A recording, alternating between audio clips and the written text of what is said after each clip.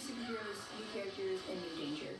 Captain Man left the school. Does he just have to be superheroes? Because we don't exactly have control of our powers just yet. It's action packed. The same Super Swellview you love lives on with new heroes. Being part of the spin-off is a dream come true.